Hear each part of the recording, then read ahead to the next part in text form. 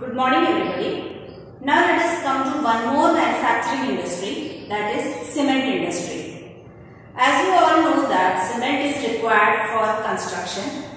So cement is used for making houses, for making industries, making dams, uh, then factories, bridges, roads, airports. So, so many things are made from cement and many other commercial establishments also.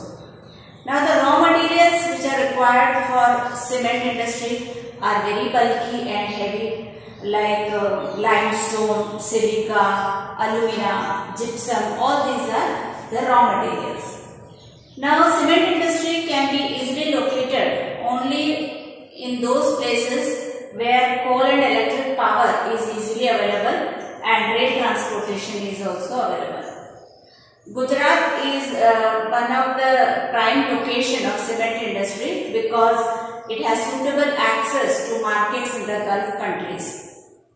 Then the first cement industry was set up in uh, Chennai in the year 1904 and after independence we saw an expansion in the cement industry. Due to many factors, uh, cement industry has uh, seen growth uh, like decontrol of prices, that means there is no control on the prices and the distribution of the cement.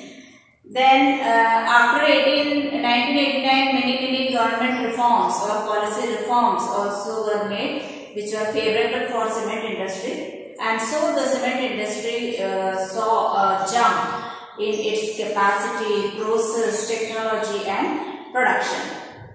In India, we are having 128 large cement uh, plants and almost 332 mini cement plants. Then uh, because we are improving in the quality and we have many different types types of cements produced in India. Because of that and uh, the readily available markets in uh, East Asia, we are uh, exporting the cement to other countries like East Asia, uh, East Asia means uh, Japan, China, Hong Kong, Korea, etc. Then Middle East countries like Iran, Iraq, Saudi Arabia. Uh, then Africa also we are exporting. Then South Asia, South Asia means in that Afghanistan, Pakistan, uh, then Sri Lanka, Maldives, all these countries come.